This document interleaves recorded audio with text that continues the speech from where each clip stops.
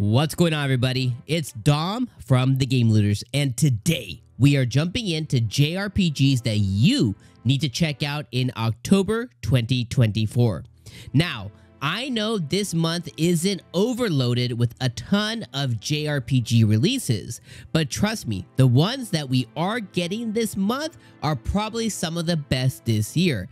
I'm talking absolute fire.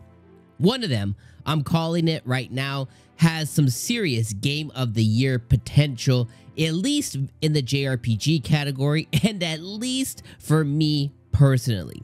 So let's not waste any time. Grab your controllers, grab your pumpkin spice in that October sense, and let's break down what you need to be playing this month. All right, first on the list is Ys 10 Nordics. All right, starting with Ys 10 Nordics, if you've been with Adol Christin through his many, many adventures, you already know the deal. Ys is one of those action RPG series that never misses. This is coming to the West on October the 25th, so later in the month, and Ys 10 is going to shift and change the formula as we know it in some hopefully exciting ways. First off, no more party system. Instead, you'll be switching between Adol and a new character called Karja, a seafaring warrior. And you can even control both of them simultaneously in what they're calling like a combination mode. This new mechanic adds a cool layer of strategy, hopefully, to the combat that we're going to enjoy. Also, where it gets super interesting is there's now naval battles. I don't know how it's going to be, but it's exciting that there's a new element. And you'll be sailing between islands and you'll be fighting off foes and uncovering hidden treasures, much like the pirate we're all aspiring to be. This world is going to feel really expansive with a big focus on exploration that'll hopefully keep us coming back for more. Of course, add in true and fair, just like Ys has always done, a really dope soundtrack, and some visuals that, you know, are probably going to be in line with Ys 9 and 8. But overall, Ys Nordics is looking like a can't miss action adventure RPG for all of us JRPG fans.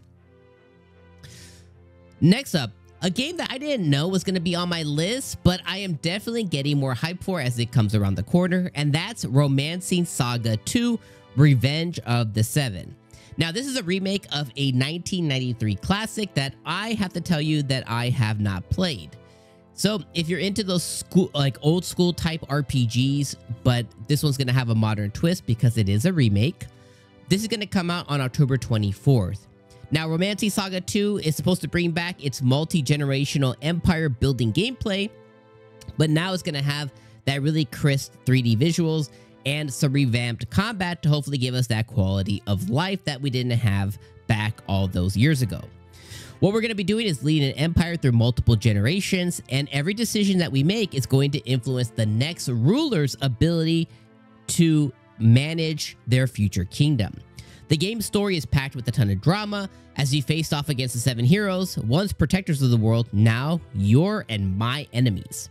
It's got that cool turn-based classic gameplay and combat with some added speed and strategy, again, quality of life.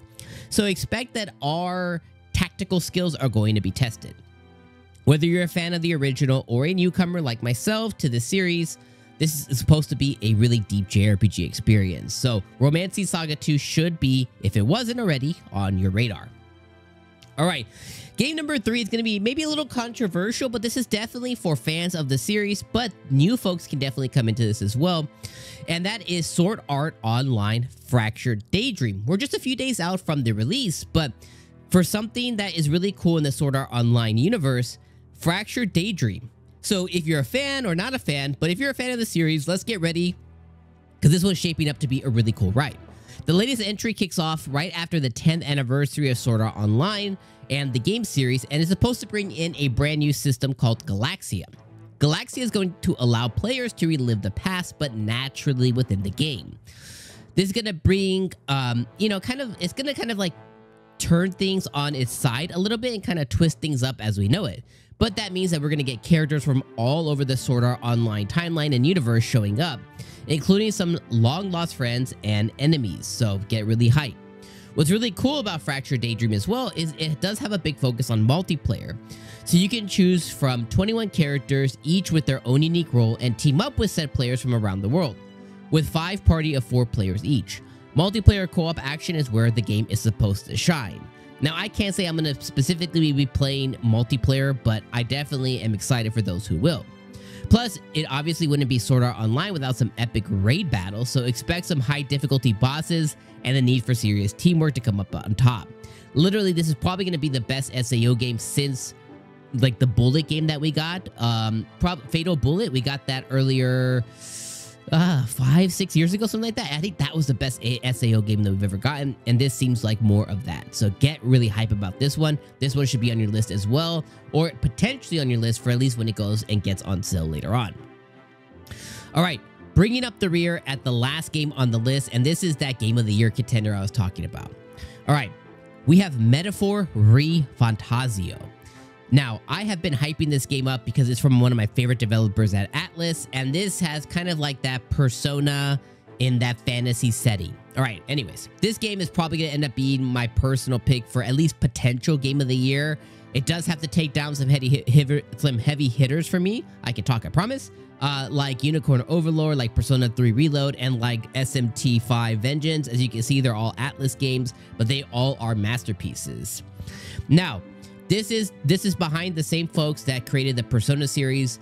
Uh, ReFantazio is going to drop on October the 11th, and if you haven't already, go check out the demo. It is like three to six hours, and it is awesome. The story is going to kick off with the assassination of a king, throwing the kingdom into complete chaos. From there, it's a big freaking roller coaster of political intrigue, magic, and personal quests as you team up with your fairy companion, Gala to lift a curse on the now needed prince. The combat system is a blend of turn-based mechanics and real-time action, giving each battle a strategic and dynamic feel. And let's not forget the relationship building side of things. It's awesome. It's from Persona and it's here. If you're a fan of managing your time between quests and social interactions, just like the aforementioned game, you're going to love how Metaphor it handles character growth and interaction. This game world is packed with dungeons, towns, and landscapes that you'll have you exploring for hours. I'm not even kidding. Go play the demo. From the visuals that are gorgeous to the soundtrack that's hot, it's got that signature Atlus polish. So this is a game that you do not want to miss. So go get that pre-order right now. Uh, I'm gonna put a link in the in in the description, but literally go get this pre-order. This is gonna be one of the best games of the year for sure. And that's it, my friends. These are the four games that need to be on your list for October 2024.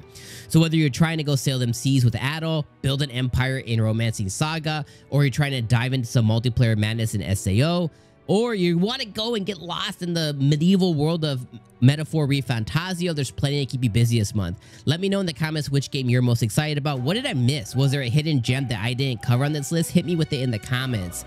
And if you're digging these JRPG breakdowns, don't forget to hit that like button, subscribe, and ring that notification bell so you don't miss any future videos. Until next time, I've been Dom from The Game Looters, and I'll catch you in the next one. Peace.